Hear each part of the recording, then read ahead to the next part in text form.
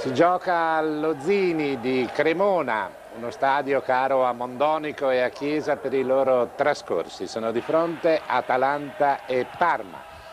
Comincia subito a sprombattuto l'Atalanta che sfodera un gran pressing, ma fin dall'inizio si vede che le conclusioni non sono delle più felici, come d'altronde testimonia con la sua classica mimica Mondonico.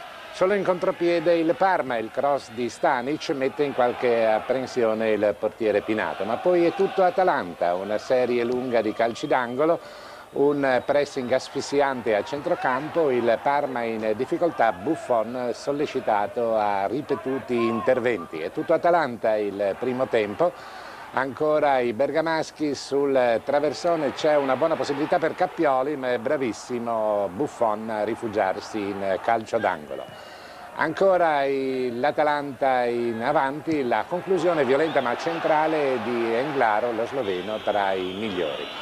Deve uscire Dino Baggio nelle file del Parma ed è sostituito da Giunti Lancio di Chiesa per lo scatto di Crespo e attento Pinato, il portiere dell'Atalanta a uscire fino sulla tre quarti. Ancora Bergamaschi in avanti, incoraggiati dai propri sostenitori. La conclusione violenta è ancora di Englaro e con eh, un intervento in tre tempi ancora si salva Buffon palla per Caccia, possibilità di tiro, ben arrivo, si rifugia in calcio d'angolo, l'ultima opportunità del primo tempo è ancora per l'Atalanta con lo stesso Caccia che viene a trovarsi nella possibilità di effettuare il tiro a rete, sia pure la posizione decentrata, mira leggermente alta. Si va al riposo sullo 0 a 0, Parma deludente nel primo tempo. In avvio di ripresa Carletto Ancelotti tenta di spronare i suoi, l'Atalanta naturalmente ha speso molto, il suo ritmo è un po' sceso e difatti nelle battute iniziali della ripresa il Parma sembra affacciarsi in avanti con una certa pericolosità, attento comunque il portiere Pinato.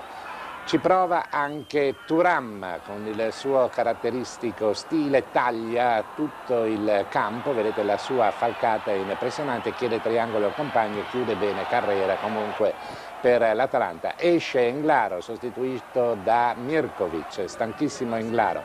Esce anche Mussi, ferito al capo, al suo posto Apolloni. L'Atalanta non spinge più come nel primo tempo ma è sempre abbastanza insidiosa in avanti, qui la conclusione di Mirkovic con Buffon che si rifugia in angolo.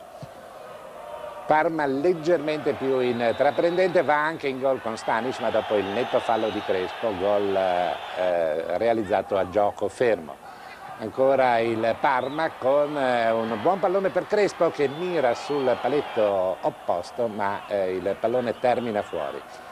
Ancora eh, l'Atalanta con grande slancio in avanti non c'è molta lucidità la conclusione di Lucarelli è alta. Subito dopo Mondonico chiama fuori Lucarelli al suo posto entra in campo Sgro mentre nel Parma Crippa rileva Stanic.